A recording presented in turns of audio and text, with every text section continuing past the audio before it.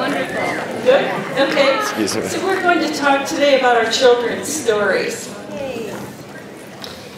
And I learned this from Leanne Wilbert. She held up a picture one time, a framed family picture. And in the framed family picture, she said, Isn't this a great picture? And it was a picture that looked like this. And this is a child coming home. There's the whole family. It's a great picture. But is there something here missing? Yeah, there are people missing from this picture, aren't there? And people that child will be wanting to know about. If you actually, this is from a book I really like called Yafi's Family. Maybe some of you have seen that. And if you actually go through the book, beautifully illustrated, you have the people that this boy left behind. You know, the rest of the story. And how we really fill in through identity for kids. I just love the illustrations here. But the love or the trauma that that child has experienced before they came into your care is an important part of your taking adequate care of your child and helping them to achieve a full identity.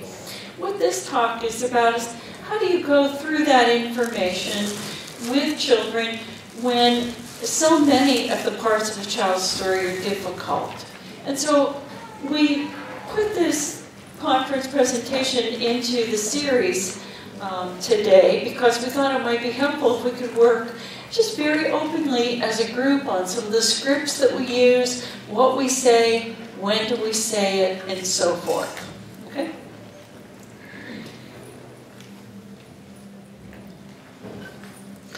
Um, one of the things that I like to talk about for our kids is many times it's like a puzzle. We have some of the pieces some are missing. Sometimes it's embarrassing to have missing puzzle pieces in our kids' stories, isn't it? Because we feel like we can't really take care of their need to know. And occasionally, when we're in that inadequate situation, we don't feel like we can even talk about it, almost as if we don't talk about it, it won't matter. I can think of a family recently that had a picture of the birth mother and in a move lost it. So when the child said, is there a picture of the birth mother that I could have? You know what they said? We don't have one. Well, in going through a photo album about six months ago, this girl said, here's this, it looks just like me. Oh. Voila! But, you know, it, she felt so awkward, the parents felt so awkward that they didn't bring up that situation, you know, because they felt kind of bad about it. And I think, while that's a more extreme case, in many situations, there are pieces we don't have, we feel bad about it, we feel like kind of, if we don't bring up certain issues, if we don't bring up certain missing pieces in that child's story, then maybe that child won't miss them either. Maybe they won't think that they're that important. What do you think the kids end up thinking?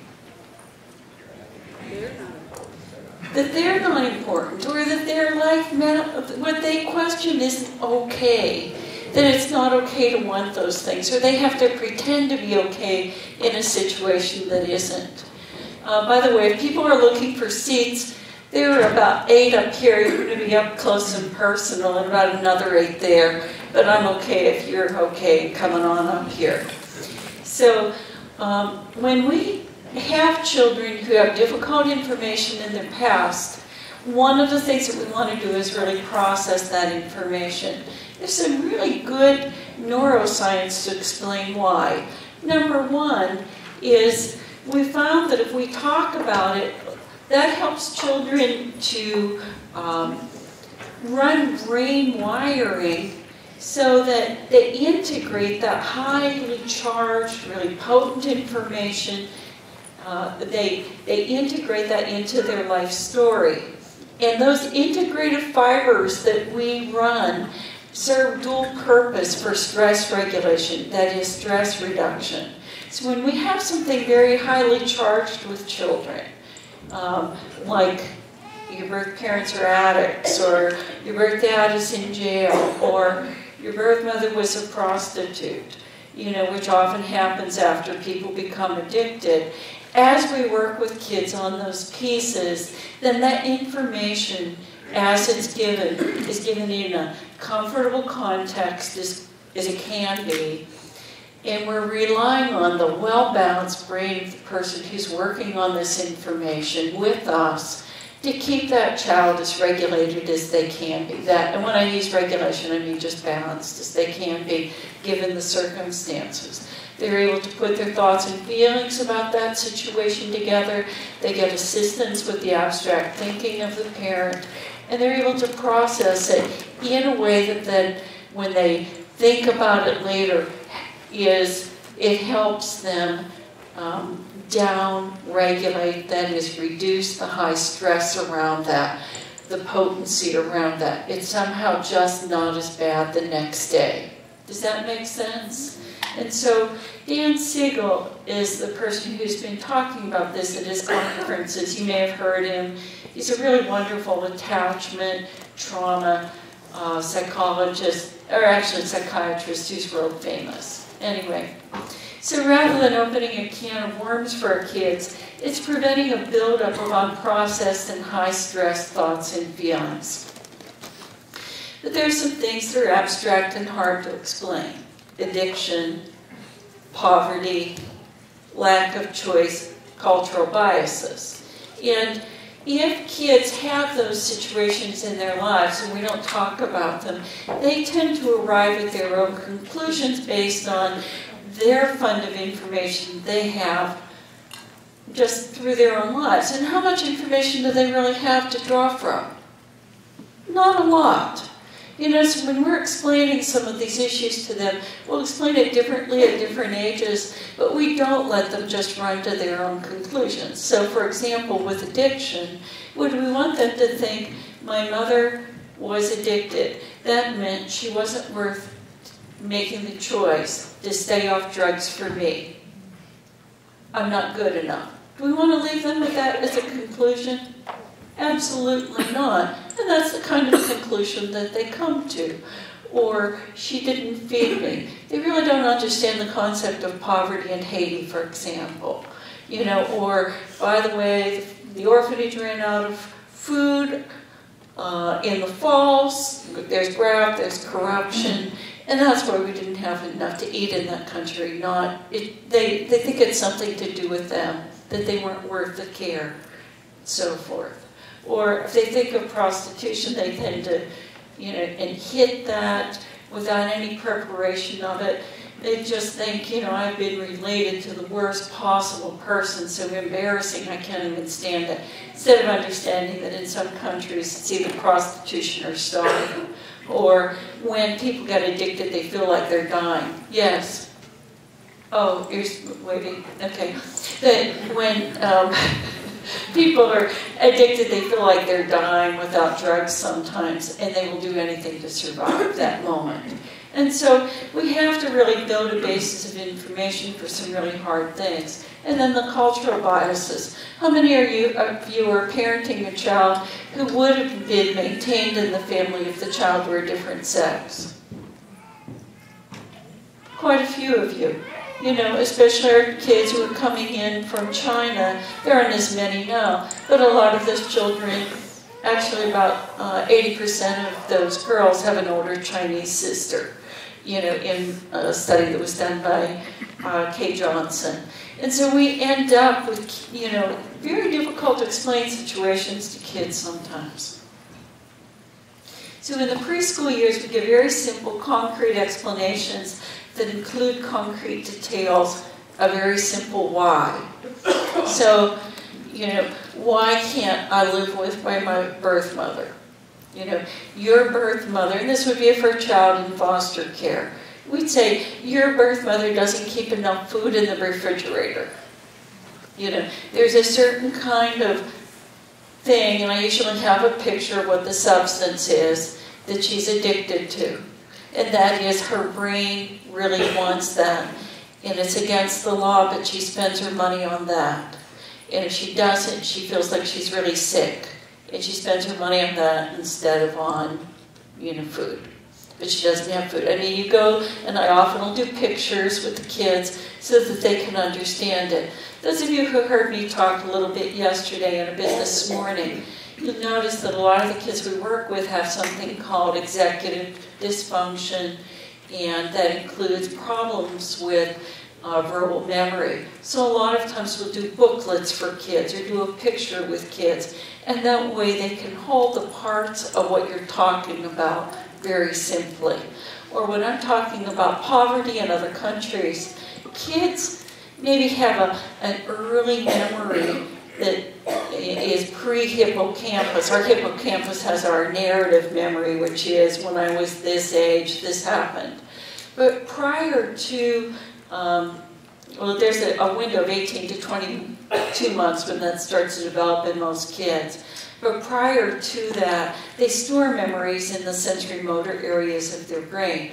And what's significant about that for us is they'll just have a feeling, but they won't have a context for that feeling. They'll hide the feeling, but the memory of abandonment or being alone, being hungry, being neglected will be more of a feeling memory.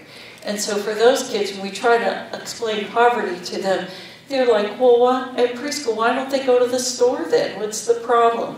So usually I'll have pictures that really show what it's like to be very poor from some of the countries in, in um, around the world, kids who are adopted internationally, or I'll have pictures of a place that really has no facilities, you know, the kind of place they were staying in. Or I'll describe places I've been in where Uh, a parent is staying in basically a drug house with unsafe people and what that looks like in there, and it being dangerous for children.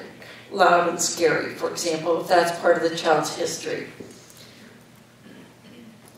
And kids will say, well, why didn't she take me away from there? Why didn't he take me away from there? And one of the things you have to be prepared to talk about is, you know, often there's a drug problem and that's why the parent is staying there. They give her that stuff that she got addicted to. And the kids will be like, well, you know, why, uh, why didn't she just say no to that? Or why did she take that? She said, well, she didn't know that that was going to happen to her when she took it. But you're right, she should have said no. You know, but then she didn't, she kept say, not saying no, and it's against the law to have a child live in such an unsafe place and the judge, and I'll draw a judge, or, and I have courtroom settings, the judge said that you needed to be in a safe home where it wasn't scary, and you got enough to eat, and you got safety where people weren't coming in and being loud and scary and hurting each other. And that's the place you were in. Notice it's unvarnished. It's the complete truth. You're not trying to hurt them, but you're giving them a very realistic picture. And so I'll have kids who come back later and say, you know, we hit this in class. And they were talking about whatever the problem is. And I remember you talking to me about that. And then I didn't feel like I couldn't cope because I know about that and I've faced it in my own life. Okay. So right from the beginning, in very simple terms, you're giving them the straight skinny. And if you don't know something, you say, I don't know. But, you know, there are a few possibilities. For example, for a little girl who's, you know, where is my birth mom today? She lost her in Haiti.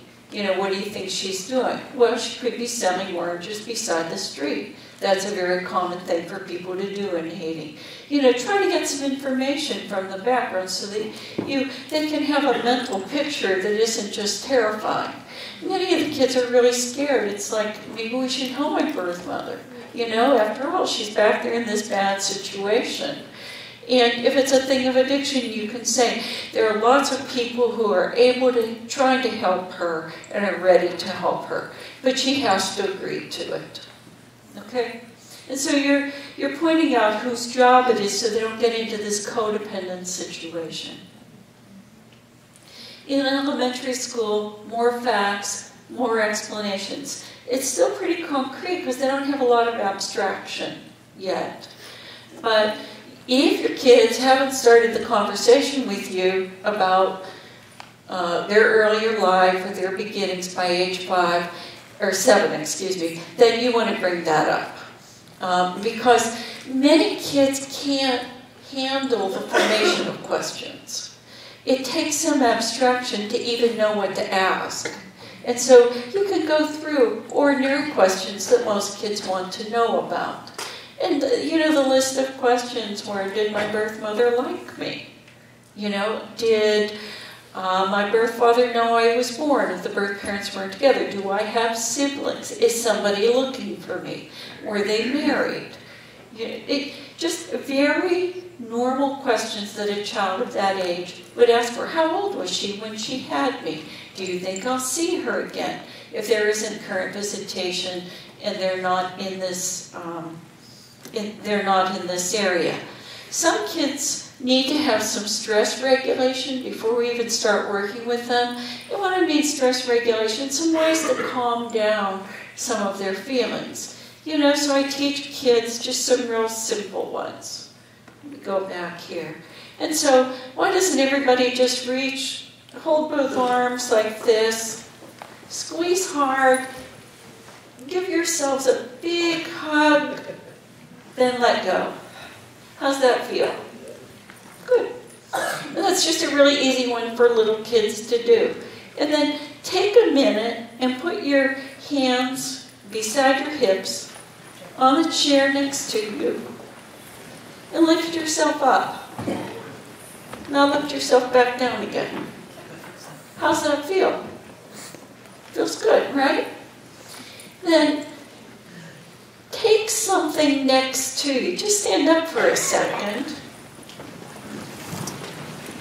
And there are flowers on the table, so I don't want you to pick up the table because, you know, there might be a kind of a problem with the balance here. But pick up the chair next to you or behind you hold it, and then sit it back down again. Just really pick it up, and then put it back down again. Thank you. How's that feel? Gives you a little bit of an exercise and release. But it causes you to take a big, deep breath and go back. And let me give you another thing that you can do with it kids. You can go online and you'll see belly breathing for kids. It's a way of doing diaphragmatic breathing. But I'm going to teach you square breathing. And we'll breathe out to the count of five, hold to the count of five, breathe in to the count of five, hold to the count of five. So we'll do it together.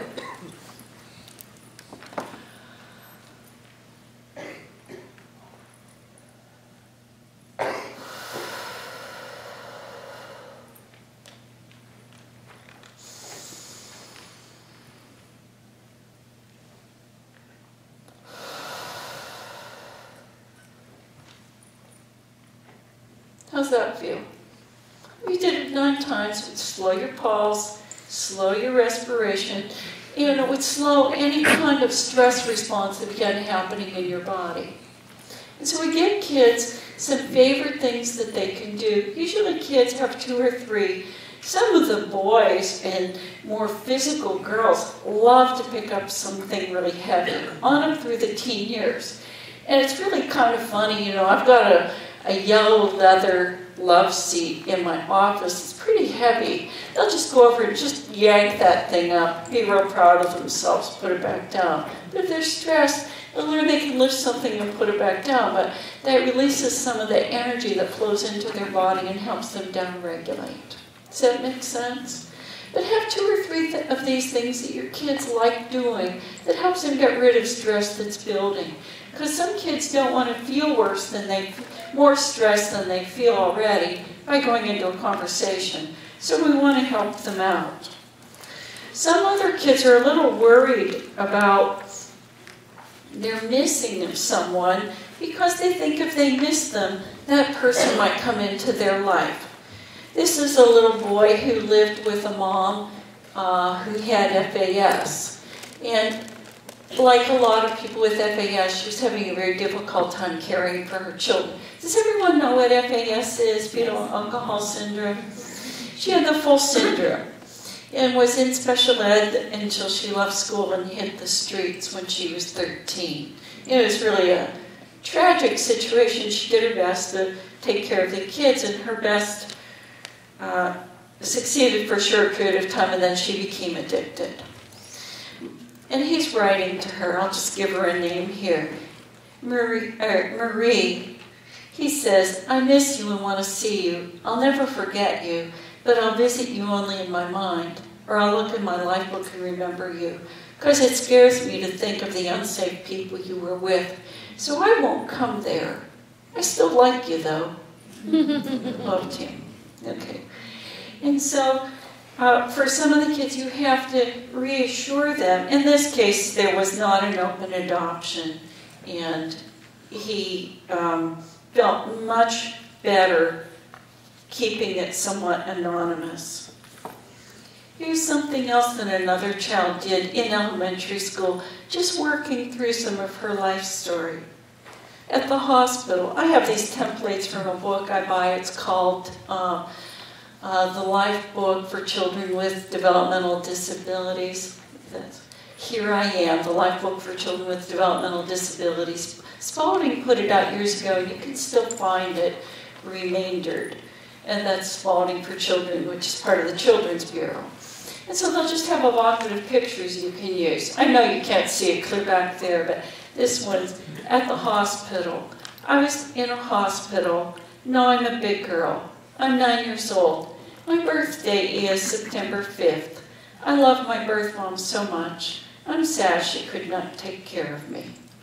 Okay, notice how they're processing these issues, and this is the last time that she could live safely with her birth mother. And there's sadness there. There's this sense of resolution, too.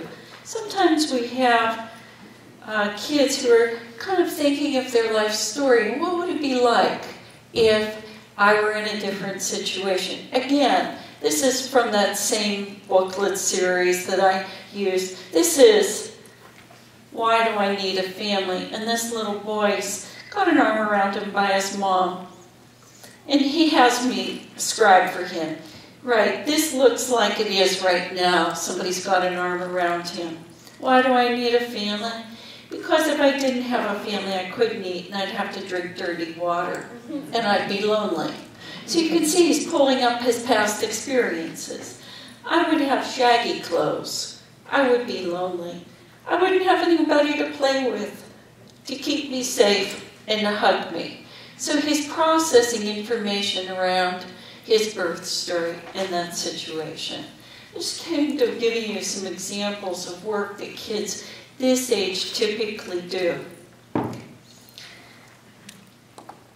In the preteen years, the explanations include more abstraction. Concepts and informations are covered earlier, and they need given all over again since things have new meaning. Because when kids are abstract, they're very concrete. You know, we teach them states, capitals, facts, you know, what are the seven oceans, what are the planets. But when they get older, um, when the sexual hormones start to hit the body, that's when those hormones are going to hit the brain and they can't think more abstractly. And they'll be thinking more in terms of uh, bigger questions. Well, why, why couldn't she have a choice in that country? Why did she stay in that country? And you can talk about some of those social issues. Or, um, why did she let that guy around me who sexually abused me? Didn't she know he'd sexually abused me? After all, he sexually abused her.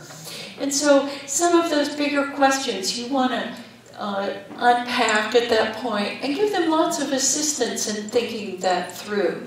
And while you can use it, I really feel like any child who's been through moves and trauma should see a therapist who has a specialty in this area, who's conversant with these areas. But I like to have parents in my sessions so that kids can work on some of this with them, either that or they can talk about it with the parents at the end of the session. Because there's something about all of us that when somebody knows our story and accepts us, then we feel that we are acceptable. That, you know, there's a shaming that goes on sometimes when we feel like we have some part of a loss or some part of a life circumstance and that we're less than.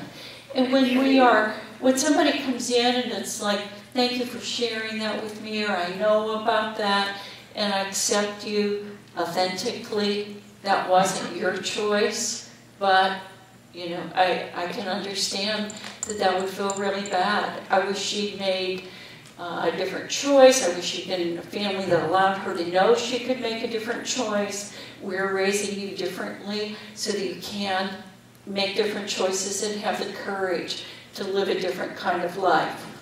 You know, that's the type of perspective that we have. And what we're not saying to kids is you're going to be a victim because this happened to you. Nor are we avoiding it. Instead, yeah, these are things that happen to you. Often we'll use the metaphor of a chapter book. A lot of the best stories have some really sad chapters. But your course will be to have the courage to overcome this or make meaning out of it. Or I was working with a boy this past month who had been raped earlier on in his life. And, you know, we were talking in terms of his sexuality, boundaries within his sexuality, and his own self identity. And he said, I think I can be a stronger person because of what I've lived through. I know I can overcome it. I know others can. You know, because and, and you hear how we build that so that he's got this sense of himself as an overcomer and someone who could be strong in the broken places. Some other people say, not there yet, but I'm hoping for it someday. You know, it's there are variations in how far people come and what their attitudes are, but it's not something that we're avoiding. Or maybe I can handle this yet, but maybe someday I will. Or I had a girl who came in to see me at 11 or 12, and she said, because I was raped as a small child, I noticed my parents are more protective of me than they are for my sisters. And she said, I kind of hate it and I kind of need it. Sometimes I feel sorry for myself and I think, what would I have been like if I hadn't been through that. I said, what do you think you will be, would have been like? And she said, I think I would have had more courage. And then we could talk about courage not being something you have without a challenge, but courage you have something with a challenge. You know, and we can transform that a bit.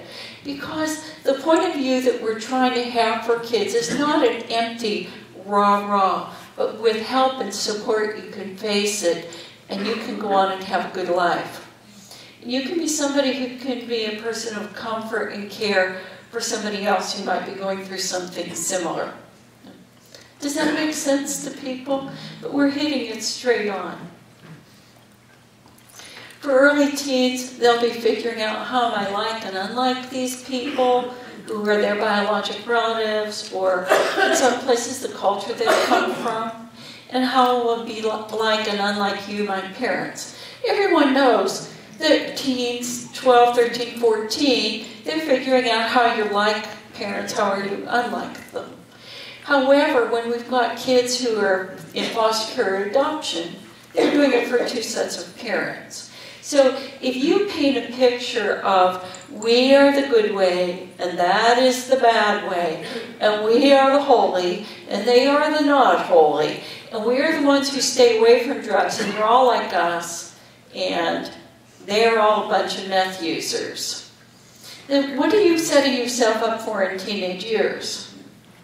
It just light them on fire because they're going to explode. You know, so what we want to do is really break that down. And I can think of one boy, I said, well, what I heard from the visits with your birth mother, she was a really nice person. Sadly, she got addicted. It's a bad problem in our society. We're not good at solving it. You know, and she was not in a family system that really encouraged her to know that she had the genetics for becoming an addict. Okay, so we hit it straight on. Well, what if I become like that? Well, what are the steps to becoming a drug addict? You know, it's not like you just go out one day and become a drug addict. So, you know, we can cover some of that information.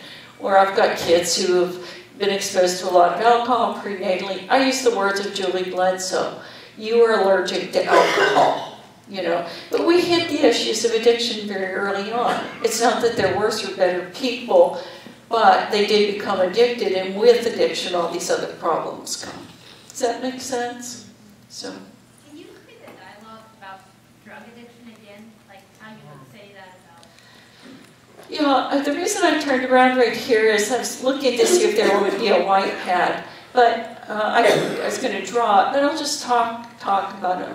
I'll figure out what substance they were probably addicted to. Sometimes I don't know, but you know, alcohol has been the ubiquitous one. Um, some people are polydrug users, but I'll put circles, concentric circles in. I say in the first circle, that's our first circle of love. And we want to live with those people because we want to be with them. And so, who would be in your first circle of love? And kids will write their names in there. And, you know, sometimes the family dog's in the first circle of love. You know, sometimes the sibling is not in the first circle of love. And, you know, they'll often put like maybe a birth parent and then their foster parents or an adoptive parent in that first circle. And then the second circle, those are people we're really close to and we don't want to ever lose contact with them or lose their number. And we'll put those number or those people in there. And then those are the third circle folks next. And those are people who are really important in our life, but they might not be lifelong. And they'll put favorite teachers there. You know, maybe somebody for, who's a church connection, good friend of the family. Uh, you know, somebody like that. And then I'll say, well, the problem with alcohol is when it gets in your first circle, it takes over and nobody else can live with it. And then you apply the facts, you know, because they get drunk and they get scary and they wreck up and they don't care of day-to-day things. We'll put germane facts to that child's life in that first circle. So everybody has to kind of move to the second circle, even though like they love that person. And then I'll take like a pickle, and I'll take a cucumber, and I'll put them out together. I said, this pickle was brined. And that's what alcohol does to the brain. When you drink a lot, it shrinks and it doesn't work very well anymore. And so when she drank so much, it made it so she couldn't think right. And I'll have pictures of brains on meth, or I'll describe what happens on meth visually, or um, heroin, for example, whatever the drug is, or polydrug use. So they just couldn't think. They couldn't make decisions. They couldn't even take care of themselves, let alone a child. And that's what happened with addiction. That's why it's such a terrible problem in our country for kids, and about half a million kids have been in foster care most of the last 10 years. Know, our numbers are down around 400,000 now, but, you know, it's um, still a huge problem in our country. And so we discussed some of that with them. What age do you, like, you said seven, but can you do it earlier or? Um, the question is, what age do you do this in? Can you do it earlier? The circles depend on cognition of about a second grade level. Okay. You know, and you can work on up with that with kids, you know, so that they can understand it. And, you know, some kids will say, you know, a mom should give her child first place. And I say, yes, she should. And I said, and your job was, you know, if they've stayed with their birth parent for a period of time, you know what their job is. Every addict raises kids to take care of them. Okay?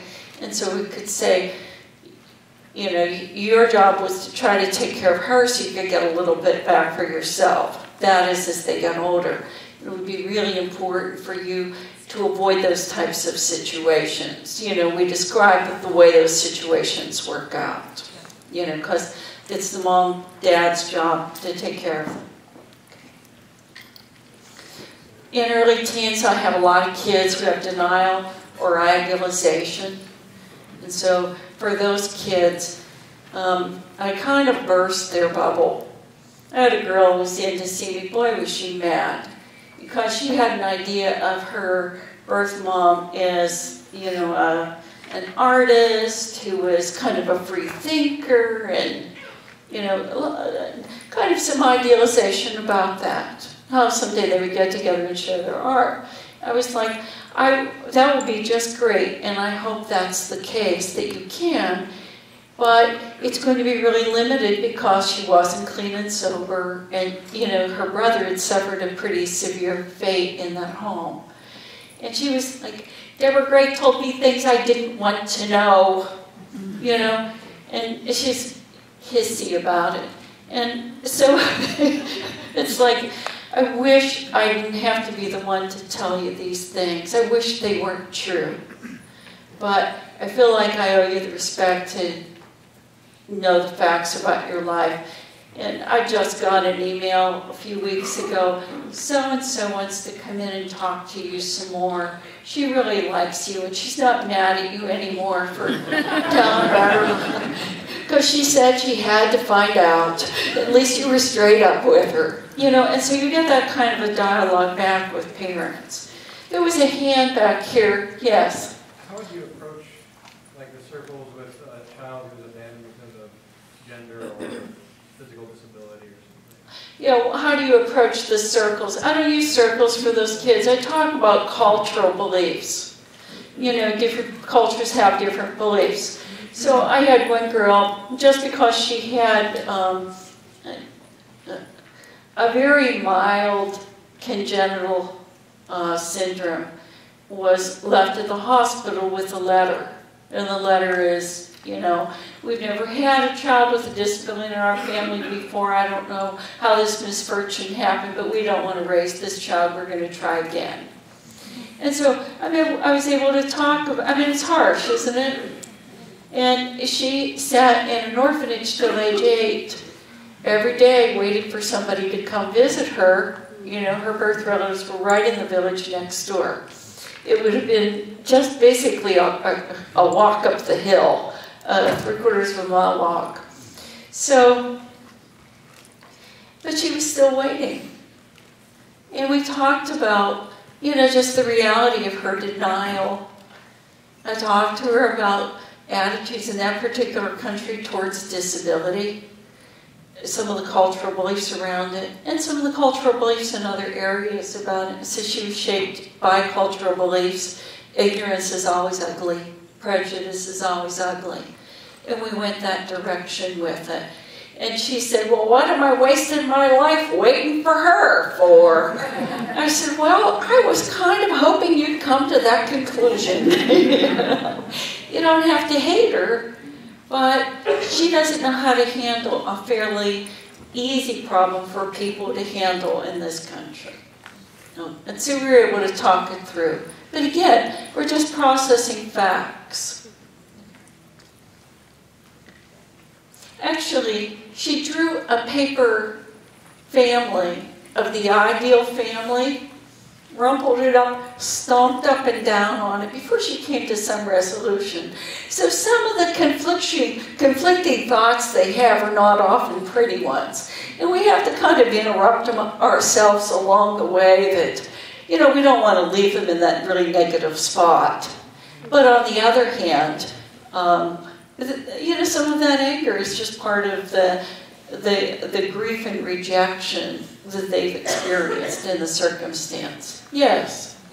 So if your child comes from a country with discrimination against gender and there's probably been rape or something with the birth mom, at what age do you even broach that? Well, the question is, if your child has, um, it comes from a country in which there's discrimination against a particular gender and there may be rape in the background, when do you talk about it? Um, why don't I, because of the mid-teen thing, I'll do this slide and then answer your question. Mid-teen and beyond. What's my story and how does it influence who I am? That's a normal developmental level.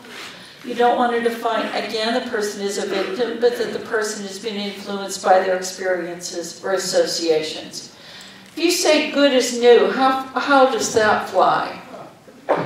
Yeah, Well, we would just say it and all go home. We wouldn't be coming for two days and need the massage area and the, you know, TLC. All would be well. Would we would be so suggestible? I'd probably figure out something to do for a living. But anyway, um, but the, the thing that we want to do is, yes, this has influenced you, but these are some helpful thoughts, these are not so helpful thoughts. Let's look to see, has this had a toxic effect on you, and what would be some ways that we could do either trauma work or rethink this so that you could reimagine yourself in a more robust way. Does that make sense? But then back to your situation, you know, because you want to inoculate them against shame. It's, they don't have anything to be ashamed of. But if I think that the child has been raped and it's just a maybe, that is not something I dump on them. Okay? I had a boy I worked with, uh, sister said that he had watched her rape, which he had, and she's a much older sister. But she said his birth father did it. And she already hated his birth father because he thought, you know, they had different birth fathers. Thought he, that this individual had something to do with the mom no longer being clean and sober. I talked to the mom who knew both of the individuals fairly well, and she said, I have a serious doubt that this really happened. And during a supervised visitation, this kid never flinched from the birth father. He never dissociated. He didn't show the signs of trauma I would have expected to see. Do you think I'm going to dump that story on him? No. And, you know, it's some of this stuff is very potent. And if you know something bad happened, then you get there and you tell them, and you tell them with a lot of help. But if it's just like, maybe this could have happened, then maybe not so much. Okay? And so I really give parents a lot of um, the decision making in my therapy for something like that, not as an avoidance thing, but often they've got a gut sense of how that will affect their own child. It's not that we hide from it, but there are certain things that you can say that are very difficult for that child to process. And I think being a child who, whose birth parent, one of their birth parents raped them is one of them. No, it's not that you can't work it through if it happened. But if there were other options, then I wouldn't necessarily jump into that one. I mean, it's not like we have to be network TV these days, right? Mm-hmm. Or cable. So, so I would more likely say, I don't know. You know, there are some possibilities, but I don't immediately jump on the worst of the worst unless we really have to face that one. Other people have a thought about that? Yeah, any? Yeah, go ahead. We have some little fosters that are um, four, five, and six, and they're getting ready to lose rights to both their mommy and daddy. Mm -hmm. And so we're just um, needing to try and understand how, how should we present that to them at that age? Yeah, this, she said we have little kiddos, uh, four, four, five, and six. Four, five, and six, and termination of parental rights will be coming up. You know, how should we present it to them? And this is one of the things that you can uh, sit down with a child and say, what are the good things you want to remember about being with your birth parents? You can do it individually with the kids at that age uh, if you want to, or you can do it as a group. The four-year-old will have some you know, input. And then you can say, what are the things that you never want to forget? Like one little boy was getting into bed in, in his emergency foster home. He said, My birth mom's name is Melinda. Would you write down that name somewhere? I don't ever want to forget it. Hmm. Okay?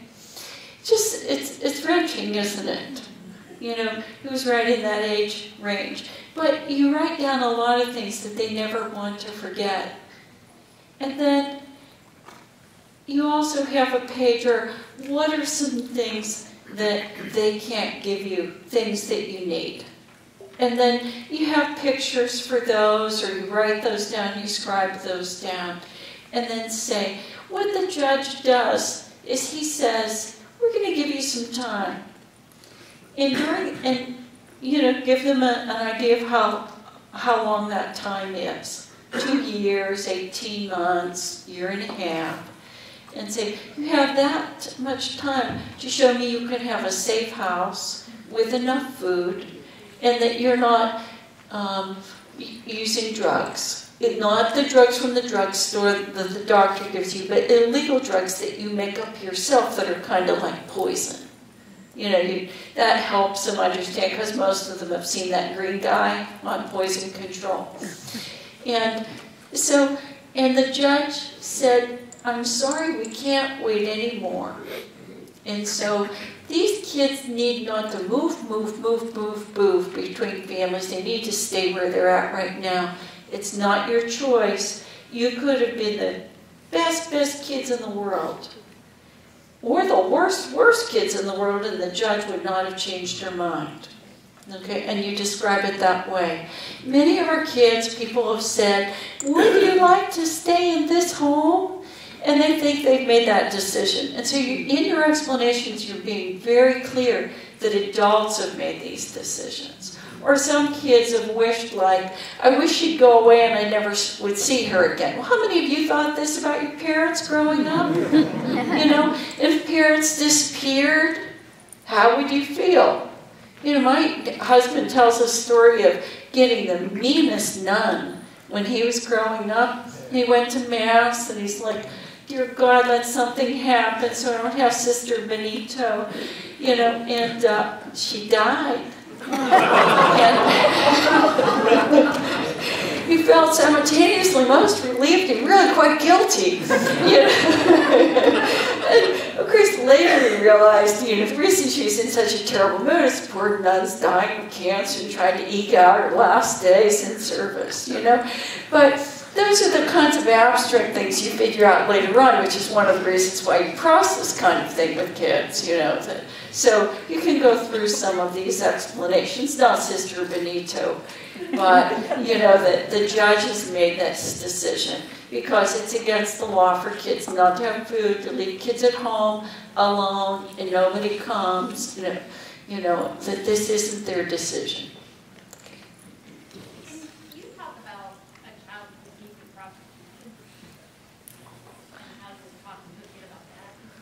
And how and I talk about prostitution when kids get to a more abstract age, unless they have memories about it. Okay, and but I want them to have a concept of an addictive drug first, because it's almost always drugs or extreme poverty in another country. And so, how I talk to them about that is, what do you do if you don't have any money and you need to eat and you need a safe place to stay and there aren't any shelters and nobody else you know has money, what do you do? That would be with poverty. And they're like, I got nothing. Well, actually, they'll start giving you some things out of their context, and you're able to discuss how that wasn't available. And then you go on and say, well, this is really, really sad, but if you have somebody who, uh, if you have somebody without any money and any resources, what they agree to do is to go take off their clothes and let another person touch them and be with them in a sexual way. And that's what she had to do. And they'll be like, oh, oh, I'm mad at her, I don't like her. Or I explained it to a boy one point, and, um, you know, he had kind of known what was going on. But he sat and he thought about it, and he said, I always knew she was a prostitute from what my old therapist told me, but I didn't know she was a whore. He said, I'm really mad at her for doing that. Okay, and so there's a, a normal, like, anger that a person would have let themselves get to that situation. And, you know, so if it's a situation with addiction, you can let them know how disappointed everybody is that it's turned that, that way, and especially how she's let herself down. Go ahead. So, I hope I'm not jumping ahead too much, but how do you deal with just that identifying with that, you know, that they think that might happen to them or? And how do you deal with how you identify that they, that, that's why you process it so carefully. How do you know that this wouldn't happen to me? And so you're like, well, first of all, we're going to practice really early. You not, you knowing that you're allergic to drugs and alcohol. If you get into trouble and start using drugs and alcohol, it is going to be off to rehab with you, sonny boy, real fast. if you know, before you blink, because both your birth parents were addicts. And there's a genetic piece to this. And so, you know, we will be on it quickly. So, one of the kids I uh, counseled, actually, I counseled his sister, counseled him a, uh, just a couple sessions. I had a colleague who had him as a client, as part of some family sessions. He started using heroin. He was immediately in rehab, you know. And if it's mental illness, we'll say, you know, this person you really was not able to take care of herself. She was talking to people that nobody else saw or heard, you know, and she didn't have the right medicine that would help her. And part of what she did to get food was she would take off her clothes and instead of being with somebody who really loved her and treated her body in a loving way, she would just let them use her body like a toy and then they would give her money or a place to sleep. You know, you can go that direction with it. Or you can talk, in, in some cultural contexts, I've only had to do this like once or twice, but I've had a person who was in a situation where her family was desperately poor and her job was to prostitute for the extended family, for her brothers, you know, for her parents. And um, you know, that was just something that she did for them and took that lower status position. And it's not like I aggrandized that, but I would say certainly for you, we'll make sure you have different skills so that you always have a way to make your way. And we'll make you a hard worker and a strong worker so you can always make your way. And that's one of the reasons why you know, one of the things we love about the U.S. is we have these opportunities and we're so seldom in these situations. Okay. So I had a girl who went through this kind of situation. She's this or this conversation, and she says, "I'm having a hard time finding the grief here, Deborah Gray. I think I just got really lucky to get out of there." You know. She's a very practical sort, you know, she's going to be an engineer, or an architect, or something like that, you know, just like I've looked at the pros and cons and I'm way ahead on this one. And so I had put some examples down here that we could go through, but you've uh, brought up some other ones. Well, we have parents who are uh, killed at a young age. Kids will identify with those early deaths. And so it's really important to go back through that with them, describe the circumstances and what they will do differently to have a different outcome. Okay?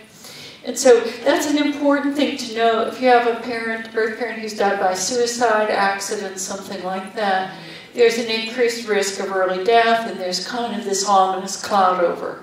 So you want to carefully process how that occurred, what steps are going to be taken in their lives so that they don't run those risks. Does that make sense?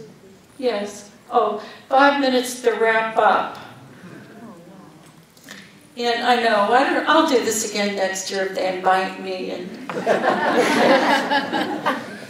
and then about sexual offenders. I do want to hit this one because a lot of the kids have been sexually abused or they've lived with a sexual offender, and it's like, how did they ever let that thing happen? Um, I'm not going to talk about this particular case. I'll just give you bigger. I didn't know you were going to ask me some good questions, so this is just in case there was no discussion that we're seeing these uh, vignettes up here.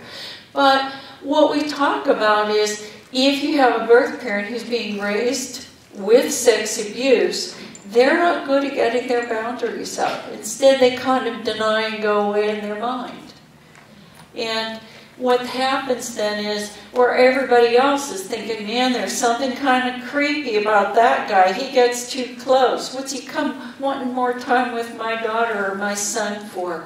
Instead, they're like, da da da da da da da da. And, you know, they're just not protecting. They, find, they don't have the ability to have boundaries. I mean, that would be one thing.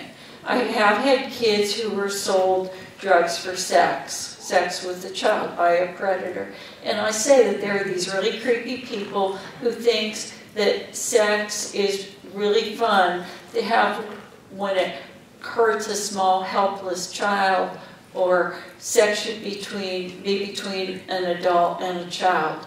And that's wrong. Some countries, they kill you for it. In this country, they like to put you into jail for a really long time because it's so weird and bad for kids, even if they liked part of it and got something from it. And I'll just say, this predator knew that your birth parents were not taking care of you and they were watching for a time that they could take advantage of you. Or if it's drug for sex, this predator knew that your birth mom was addicted and she took advantage of that. And you know, usually in a situation like that, you help them build up enough of a boundary that they're not going to expose themselves to situations like that in the future. Certainly are not encouraging any kind of continued visitation. And that's one thing I want to mention is sometimes when you have kids who are checking in, could I see this guy, could I see that guy? There's sex abuse in the background, kid is really acting out a lot. We think maybe we should open up visitation. Sometimes it's not that. They're checking to see if it's safe to tell. So really watch out for that one. Because sometimes kind of, especially soft-hearted therapists tend to open the door too quickly. Oh, must be about grief. Well, sometimes it's about basic safety. I can remember one girl I worked with, uh, she kept asking for her aunt and uncle who prostituted. It turned out they prostituted her. And I said, I know you really want to see them, but tell me what you want to do and why it's so important now while you're young. She said, well, they're kind of old and they use drugs, and I'm afraid they're going to die before I can get them back. I want to beat them up. Okay? Very different kind of reaction. So don't jump to assumptions. When kids ask me questions, sometimes I think, I say, well, I'd like to hear what you think about that first. And then you get more out of that memory situation than you would ever guess. And it lets you know which, which path to go down. Does that make sense? I know this is kind of a heavy session, so, oh, it's one minute. I was trying to finish up here on a, an upbeat note. But I'll just go through like two slides. Supply facts, what really happened. Correct distortions of the facts. We almost always make patterns that get us a little too close or too far away from certain of our favorite facts. Help them to make meaning out of the facts. Help them to reset appropriate expectations. Will others like them authentically? Do others need them to be cheery or to say things that they never uh, that they never think about these things or they can't remember significant events or can they be authentic about it? Help children to form a timeline with events and their feelings on a line. Discuss how you would have treated them, how their feelings are connected to events.